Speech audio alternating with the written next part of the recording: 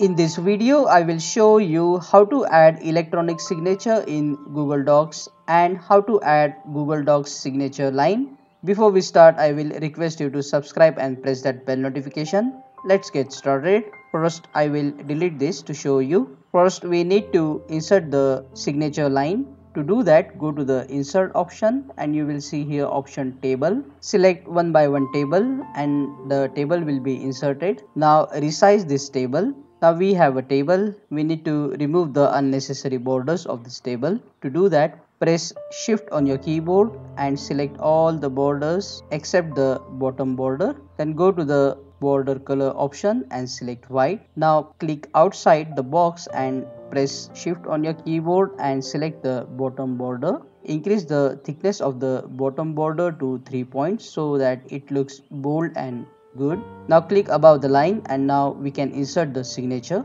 the electronic signature. To do that go to the insert option click on drawing plus new to open this drawing dashboard. Then click on the scribble option here. This will enable you to draw the signature. After clicking you will see this plus icon. Now you can draw the signature using your mouse or a stylus whatever you have. After drawing the signature you can select the signature change the color of the signature if you want to or leave it black. You can change the thickness of the lines of the signature. For example here i will select four points. And once done click on save and close. Now if you want to change the size of the signature you can click on the signature and change the size like this. To align the signature at the center click on the signature and click on center align to align it. If you think this signature is not looking good, you can again click on the signature, click on edit to open drawing dashboard, then delete the original signature